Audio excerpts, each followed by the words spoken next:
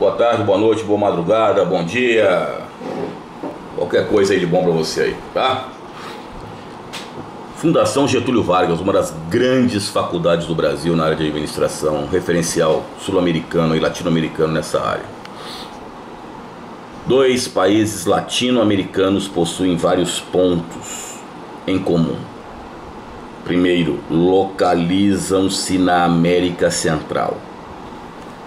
Sofreram interferência política e militar dos Estados Unidos sofreram interferência política e militar dos Estados Unidos. Foram colônias de exploração. Possuem economias baseadas no cultivo de cana-de-açúcar. Olha lá, a questão antiliana. Na década de 1990, muitos de seus habitantes tentaram migrar para os Estados Unidos em embarcações precárias. Em Cuba, nós tivemos os balseiros. Os balseiros foram indivíduos que tentaram fazer essa, essa travessia. Né? Aí eles colocam aqui: as diferenças, porém, estão retratadas no quadro País A, País B. Então começa dados sociais. País A, investimento em saúde e educação.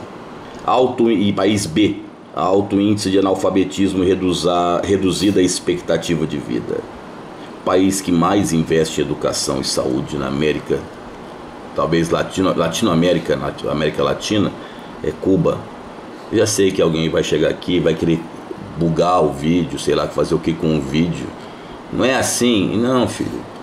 Isso é dado, vai procurar. Procura. O, os dados de saúde e educação cubano estão bem acima do nosso brasileiro. Estou lembrando a vocês.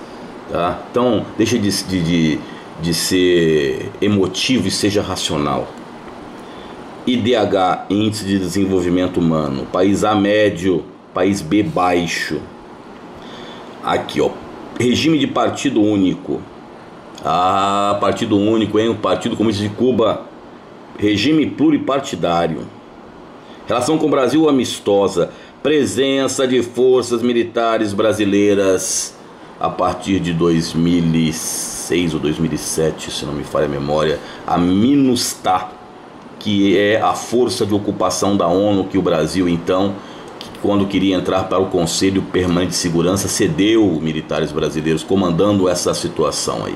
Então, o Haiti aqui, posição durante a Guerra Fria, aliada à antiga União Soviética, aliada aos Estados Unidos, na época da famosa ditadura Duvalier, que era Baby Doc, né? primeiro Papadoc, e depois Baby Doc, que foi retirado do poder depois por um ex-padre chamado Jean Bertrand Aristide. Que acho, todo mundo achava que iria mudar o país, ficou a mesma, infelizmente, a mesmas, as mesmas condições quase. Tem uma música dos Titãs que eles falam de Baby Doc, Papadoc, se não me engano é Bichos Escrotos. Posso estar enganado com essa música. Mas era aquele famoso LP, naquela época era LP dos Titãs, Cabeça Dinossauro. Dê uma escutada, procure lá que você vai achar essa música. Acho que é Bichos Escrotos. Se não for Bichos Escrotos, é algo parecido ali, mas está naquele LP.